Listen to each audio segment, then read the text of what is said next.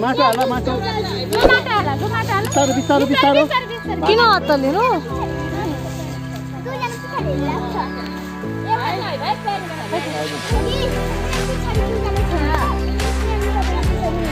लु यहाँ लु तिमीहरू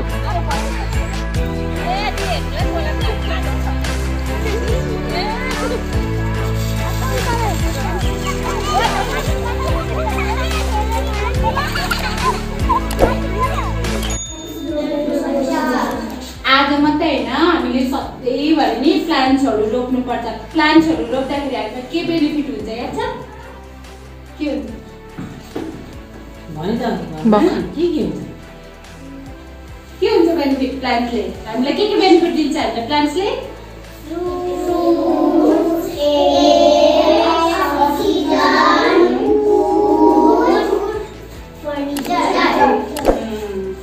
हाम्रो चाहिँ नि जति हाम्रो एरियाहरूमा जति पनि हामीले प्लान्ट्सहरू लगायौँ भने नि हामीलाई अक्सिजन राम्रो पाउँछ होइन?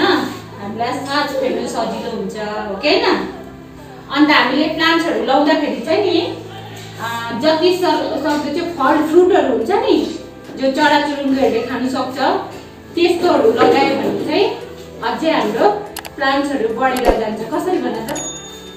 कसरी?